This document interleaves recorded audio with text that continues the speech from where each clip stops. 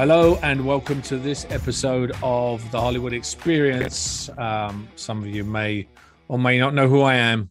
I'm Adrian Paul, and I have Ethan Detmeyer on the other end of the phone in some undisclosed location, uh, secretly in a vault somewhere. I don't know where he is, but you know. Yes, I'm in a nuclear sarcophagus buried 300 feet down. 300 feet down. Okay, then. Uh, it, you know, it sounds like one of those episodes from. Uh, um, you know, one of those uh, sci-fi movies. I'm underneath the caverns now. Oh, it's no movie, my friend. This is real. this is. Real. I'm in a nuclear silo, ready to rock. yes, it's always always interesting to speak to you because uh, you have a lot of what. Okay, so come on, in the silo, do they do movies? Do they do they show movies? Yes. Have you seen any interesting Yeah, we have movies? This this yet? Have, have we? Well, we come- you know, we anything- only have an eight millimeter projector here, so I see a lot of bad films that aren't really, you know, uh, foreign films, films from Italy. You know, a little something about that. But uh, you know, every once in a while, I get a chance to view something special, not really about the Flash. And some people still think it is actually, but there is something to be said for conventional story storytelling that can inspire an audience, and I think that's still the way to go. Oh, you you just said Flash. It was interesting. You said Flash because you've actually got a a photo behind you of Daniel Cudmore from the Flash. No, Interesting. what a coincidence! Was that a coincidence? Was that an Ethan Detmeyer? Now, Daniel Cudmore's going to be our guest today. He's been on, on, uh, uh, numerous things. He's a stunt actor, big, tall, big guy. Obviously, some of you know him from the X Men series of films. Um, you know, and he's done a, a numerous amount of stuff. Really nice guy. We'll, we'll bring come to that in a second. But I was curious, Ethan. Was that just like, um, just by chance that that happened? That you said, Yeah, that? it's strictly a coincidence. I mean, we're huge Daniel Cudmore fans here. Uh, it's unbelievable how much respect we have for the guy. In fact, you should see my other room. It's just a complete homage to it, him and his work. and uh, you know, I'm so thrilled because we'll have a conversation of what this man is really about. and of course, we're going to talk to Daniel. Uh, Daniel Cudmore spoke to him uh, not so long ago. We were uh, discussing a lot of different things. Uh, of course, X Men was one of the key things that we we started chatting about. So, uh, without any further ado, let's uh, let's go straight over to that interview. Hello, good morning, and uh, or good afternoon, depending on where you are. Um, last week, actually, we were uh, t- talking with uh, Michael Hurst, and uh, this week I'm a little bit closer to home with Daniel Cudmore. Good morning, good afternoon, sir. How are you? I'm good. Thank you. Again, thanks for having me. I'm uh, the listeners will know I was a little late. I was a little scrambled trying to figure out my link this morning. And as you can see, I, I set up this beautiful advertisement for Volkswagen behind me and in my garage slash office here in Vancouver. But uh, yeah, I'm good. How you doing? so how's Van? Yeah, I'm good. I'm good, man. I'm I'm uh, I'm. It's kind of hot here now. It's got chilled, chilled down a little bit, but it's been Yeah. pretty brutal. What about up there? Is it? Uh, Uh, we've got some sun today. We did, I think about two weeks ago, fall just came in and said, yeah, no, summer, you're done. See you later. So now we, we started to cool down. Like yesterday, I think it was uh, 24 Celsius, somewhere around there. Um, but it's it at nighttime it's dropping right down. But again, like the sun's out, so I'm I'm really not complaining. yeah. Well, you can't complain when the sun's out in Vancouver. No, Because- because it comes out for a little bit of time. Exactly. Yeah. Exactly. It's. Uh, I spent a lot of time in Vancouver. Is that where you've done most of your work in Vancouver? Yeah, but I was born and raised in Squamish, so just outside of Vancouver. It's like a 35, 45 minute drive up the road. Uh, most of my work's been done here, though I have done some work in Louisiana uh, and some sort of back east in Toronto and Montreal. Uh, but apart from that, you know, I, I maybe played around in England once or twice, nothing uh, too long. But as That every wasn't. That knows- wasn't. That wasn't where you got your love of rugby, though, was it? Well, no, that's from my that's from my that's from my dad. That's That's my dad. that's. An, uh, it's interesting to find an American rugby player because rugby's not huge here. No, But, and that's you know, obviously because both my parents are British. Uh, so I'm first Oh, okay. generation Canadian, and uh, rugby was really the sport that allowed my dad to get into Cambridge. Uh, it kind of helped Oh, catapult him in there, and uh, he became a doctor. And so, you know, it was something that he loved playing. But when I grew up in the small town, there was there was no rugby. It was you had to play hockey, that was it.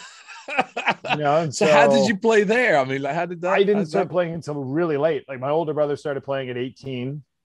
My younger brother played because he went to a boarding school for a year, and so he, he started there because uh, they say they model off of the the English sort of curriculum and and sporting. And uh, and yeah, I didn't come. I came back from university playing football, and uh, I was just getting my foot in the door with acting, and I still had a drive to play sports. And you know, my older brother and younger brother go, "Oh, go down to the local club, start playing," and it just sort of it clicked for me because uh, it basically ticked off all the boxes of every sport that I've played combined into one, uh, and I just I fell in love with it. Mm. What position did you play? I played uh, well four five second row. Uh, okay. Some six, but I really liked eight eight man. Yeah, you yeah. Okay. Is, yeah. Yeah, as you know, with eight man, you got really know the game, and when you're fresh to the to the game, you're kind of just yeah. You do. You have to know how to wheel the scrum. You have to know totally, how to you know. Right. Yeah. I used to so play rugby, kind of, so that's yeah. okay, so you get it right, and yeah. Uh, yeah. so it was something that I pursued pretty heavily. But by the time I, unfortunately for me, by the time I got into rugby, I had already had a knee surgery from football. I I had a Achilles tendon tear. Like, yeah, I, I, I heard you had that problem with the knee. How, how what uh, what what happened? Uh, I was 16. I blew blew my knee out uh, playing basketball, and then just subsequently just knee tears playing football. Just you don't know, just cartilage tears and stuff like that. Yeah, yeah, yeah. Uh, I was still pretty good. The, the worst one was I, I snapped my ankle playing football and uh, they misdiagnosed it. They're like, "Oh, you're high ankle sprain. You should be fine." And uh, for a guy like me, I was going, "Well, you know, I, am the new kid. I'm Canadian. I don't want to. Uh, I don't want to sort of be the one who's complaining about it." And uh, I just played on it all year, and then it just tore up my Achilles on my other side.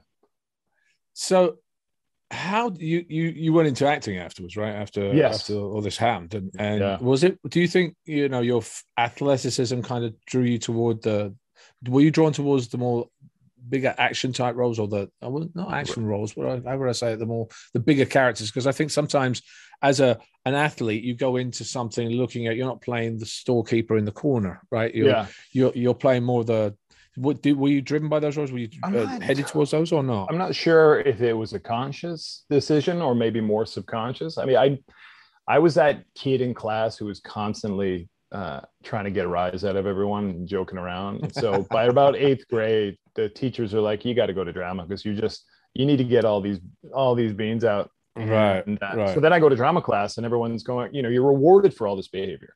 And so I kind of fell into the world of, of comedy and that was my kind of thing. And so when i came back to vancouver realized there was a, a massive industry and i wanted to sort of go okay well can i try this out? Um, i think the industry being the shape and size that i was kind of pushed me into that avenue of the bigger action bad guy good guy that sort of world. Because i wasn't you know being i was 22 years old i was six foot six 260 pounds. Like i'm not you know, I'm not gonna, they're not gonna go, oh, there's the perfect guy for this new comedy. You know, it's just like right, it's not right, right, right, right, right, um, And so I had to kind of learn to navigate. This is the way it's going to be until I can get to the point and the understanding and the skill set to go. Okay, no, I want to, I want to lean towards more of this drama, or I want to lean. Can I, can I get into on this comedy? Um, but at the same time, when you first start out, you're just going, hire me, like let me play, like give me something. and I got super fortunate I think it was my fourth or fifth audition, third job, and I go out for a cattle call for X Men. Yeah, and, you know, six for Rasputin Colossus. Yeah, six callbacks later, they're like, "All right, you got the job," and I'm going, I'm going "Oh shit! All right, I guess yeah. I did that must have been an interesting uh, introduction by fire, in a sense, in the industry, because you know you you're not going into a small production no, it was a total trial by fire. I really, you know, it was one of those kind of things where you just kind of um, close your mouth and open your ears uh, and just try. For me, I, I, was always very big at observation learning, especially with, uh, especially with the sports I played. I was always kind of, all right, watch what this guy's doing. Why, why is he doing? Why is he playing more than me? What can I fix and change in my game? So, being around all of those amazing actors who have beautiful, huge resumes I just thought, hey, this is a perfect opportunity for me to just sit back and watch, see what they do. Mm, uh, mm. So I spent. I'm not a big guy who sits in his trailer. I, I, I think I'm just sitting there twiddling my thumbs and going kind of crazy. So I come on a set and I just sort of sit and watch. Mm. I think that was kind of a that was a great learning experience to watching that level of acting and that. What do you career think? What do you think was the one thing you took out of that then, in that sense? You know, I mean, from that particular, you know, yes, you've got all these things, but you, there's Yeah. there's always something you remember from it. Yeah, it, I think it was just the uh, the stillness and confidence that you know you understand that you're watching them and that this is their time. Uh, and all the busyness that's going on around them in this huge production isn't affecting what they're trying to do on the day. Mhm. Uh, and knowing that each actor was ar- was so highly prepared for what they were doing on the day, so it's it's just like any sport. You do all the work so that on the day you're free to just be in that moment to do instead of constantly thinking, okay, I got to change this, I got to change, this, I can change this. All right. So here's another question for you in that case, because the, the actors that work on those types of movies sometimes have been told six months ahead of time that they're going to be doing this role. So they've got a, a lot of time to prepare. Mhm. Have you been on those productions where it's literally a much smaller production? And I know, I mean, I've just literally just done one where I came back last week. I was Yep. told like the week before, you're playing this role. So Yep. I just left. I had five days to do something, six days to get this whole thing together and shoot like loads of scenes in two days. So there's a the stillness sometimes can happen, but there's ha- have you seen the difference between those two types of preparations? A hundred percent, because I've been on both.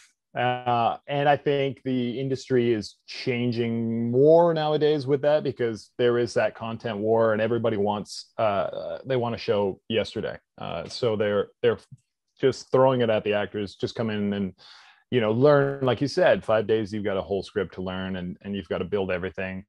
Um, so I've been on those a lot, uh, especially in Vancouver. It's kind of where it's going um, for me. And it, realistically, I think it, I think it is just trying to find those moments to prepare as much as you can. But I think for someone like myself, who's a bit more of a control freak, um, I have to just be okay with letting go of certain things and not because sometimes I feel like with those big productions, you have so much time that you overthink things Mm. and you can have those moments where you've overthought so many things and you just you end up stop just reacting in the moment. And i think sometimes the nice thing with those quick ones albeit they're stressful as all hell you can just react. Like you only you you can only Yeah. do so much. Well, the, it, it's it's a the same adage when you're working on a on a scene sometimes, and you get the I don't want to say the the grace to actually have more than two takes. But Mhm. when you do three or four or five or six or seven or eight takes, sometimes you're doing the same thing every time, and it's not an organic place that that reaction has come from. So 100%. actually doing that one thing. uh, You got literally, I did this one take, boom, done. I'm like, really? That's it? Yeah. Yeah. You know, you've got no time to think. It's just literally a reaction. Sometimes those things come off the best. Yeah, and it's very true. And the and as you know, it becomes trust in the people you're working with, even though you've only met them very briefly.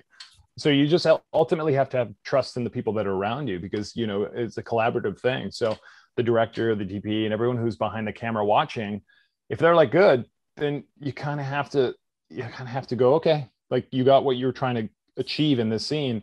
If it's something for me that I'm going no, you know, if it's a one take and and I know we've got a little bit of time to take another one, and I just know that I took it in the wrong direction for whatever it is, character or story or, or arc, I, I'll ask for another one. But a lot of times I think I'm getting to that point where I'm okay with just saying, okay, if we're good, let's move on because we don't have the time. Yeah. Um, but it is it's very true. Once you get to that, like you said, once you get to that sixth, seventh take, and especially if it's a close up, you know, the camera's, the Yeah. camera's reading any BS that's coming through. And if you're just sitting in the place of just, okay, I've already muscle memory, I'm just kind of blurting out the dialogue and I'm not really feeling it, I'm not really in the moment, then it's kind of, it's it's useless. It just doesn't work. exactly. And it becomes by rote. Let me ask you something else. Did you, uh, by the way, did you work with Kelly Hu? I I did, but as you know, in those massive productions, it's like, uh, No, I was You- just wondering. No, she's a good friend worked on the same- That's why- that's- oh, I see. Yeah, you work on the same film, and you only get to meet them at the premiere. So you're like, Yeah, the, yeah, No. right. Yeah. like it, there was like Days of Future Past that we did.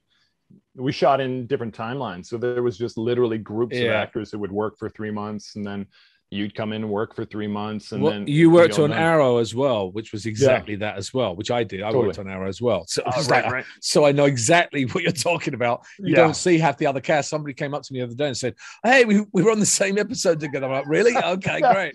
Oh, that's great. Oh, you, you were great. yeah, you were great. I loved you. Yeah, we were so well together when we never did. it is. So, it's funny how that works. But then, you know, like you said, you were on those small ones, and and you get that sort of family feeling. Like I've done smaller pictures that I've had way more fun on because it is just this small tight knit group and you work with every everyone right. you see yeah. all yeah. the time and you spend that time and then you work on those big ones and you feel kind of you feel you feel very distant. You don't feel like you're a part of it. And and i think that's maybe one of the reasons why i on those large ones i'll come out of my trailer and just be around people because i feel so sort of stuck in the corner by themselves by yourself